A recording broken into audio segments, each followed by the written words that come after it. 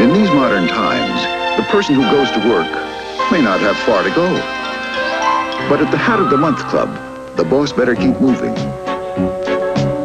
To keep the books, organize the files, write the letters, check out the inventory, find time to create, and still keep on top of things.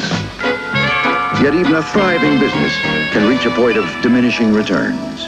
A good time to learn about the IBM personal computer. With this tool for modern times, a person can quickly master such jobs as accounting or word processing. Even use the IBM personal computer to forecast growth. All helping the business person at home to wear many hats while selling even more. And that can be a feather in anyone's cap. The IBM personal computer. Try one on at a store near you.